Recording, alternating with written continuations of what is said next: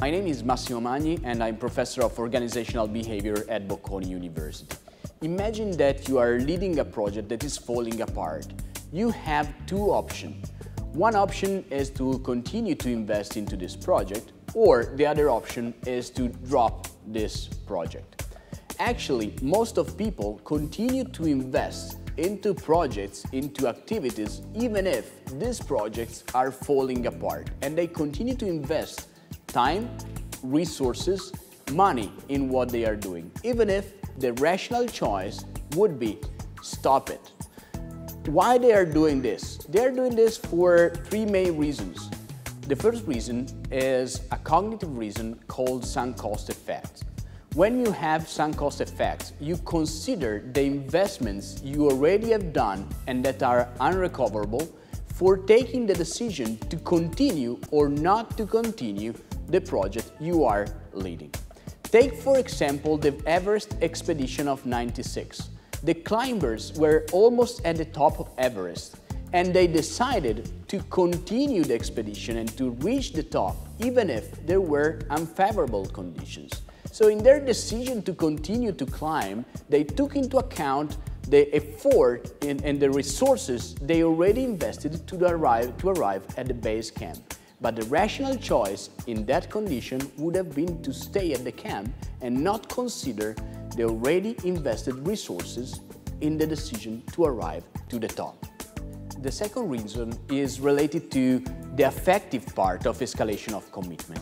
The affective part is when we are so emotionally attached to our project that we are not able to distinguish our identity and the project identity. It means that if the project fails, we feel ourselves as a failure.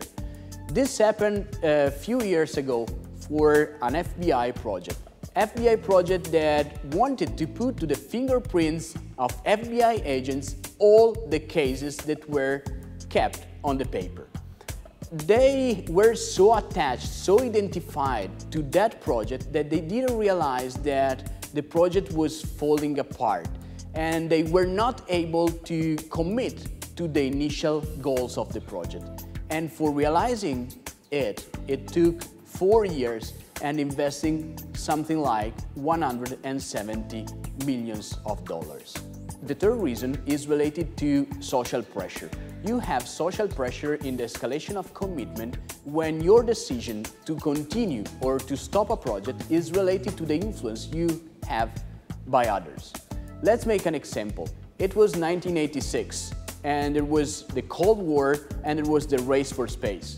In that period, NASA decided to launch the Space Shuttle Challenger even if there were strong evidences that a disaster could have occurred because there were not the condition for launching. And actually what happened is that the disaster occurred for real. How we can avoid escalation of commitment?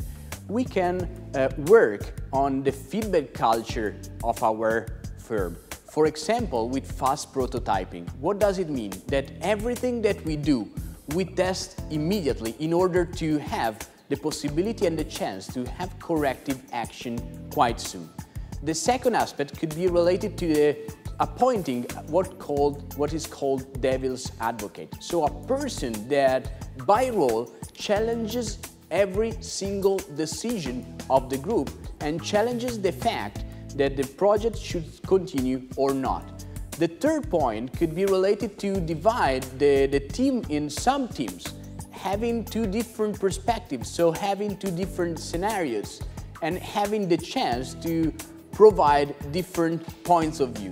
And the final point could be related to split the group who decides at the beginning from the group who decides if the project should continue or should stop.